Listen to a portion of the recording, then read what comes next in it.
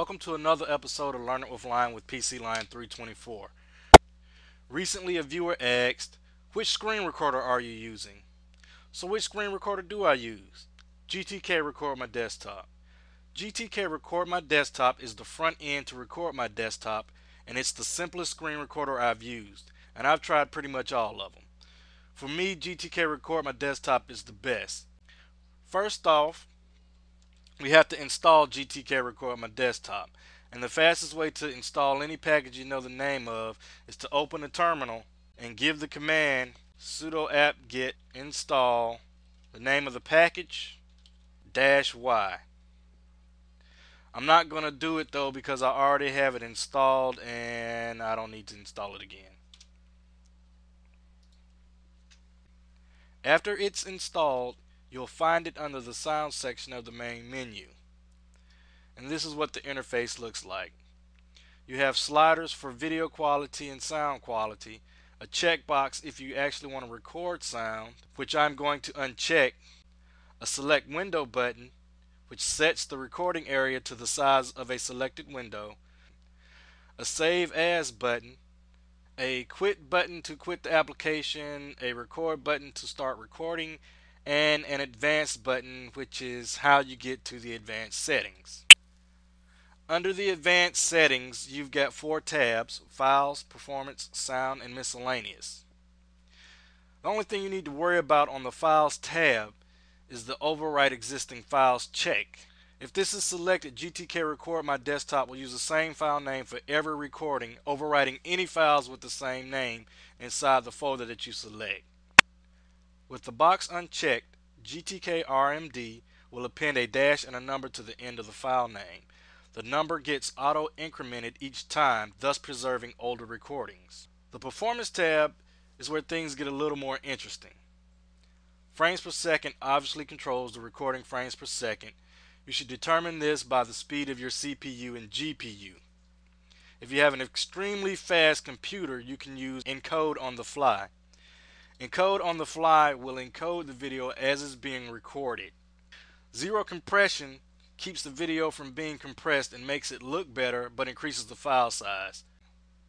Quick subsampling reduces the processing power but may degrade color quality. Full shots every frame is recommended if you're running a 3D compositor like Compiz Fusion.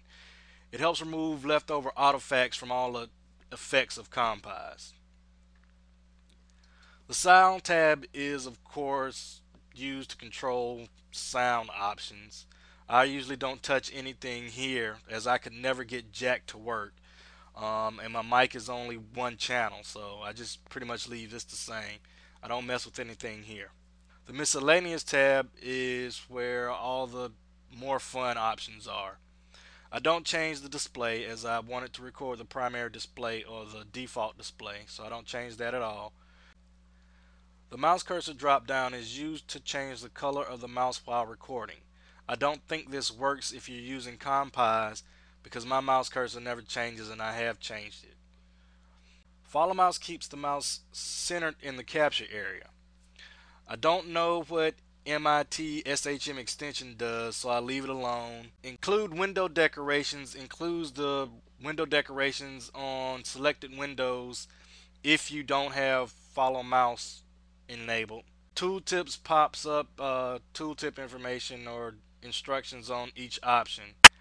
Outline capture area on the screen draws the capture area on the screen. If you have follow mouse checked, I recommend using this until you get a feel of where the capture area is at all times. The problem with outline capture area is that it will appear in your vids from time to time while following the mouse. I don't use it anymore but I used to. Reset capture area will reset the capture area back to full screen after each recording has stopped. This is fine of course if you want to capture the whole screen and I used to use it for my first videos. I don't muck around with extra options and I suggest that you don't do it either unless you want to read the man pages uh, for GTK Record My Desktop. So how do we record something with GTK RMD? First you select a recording area. This can be done using the default full screen, using the last size selected, clicking and dragging in the live desktop preview, or selecting a window with the select window button. Then we set the sound and video quality, give a file name and folder,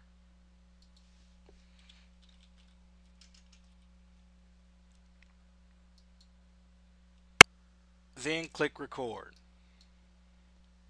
Once you're recording, an icon will pop up in the notification pane that looks like a stop icon on a media player.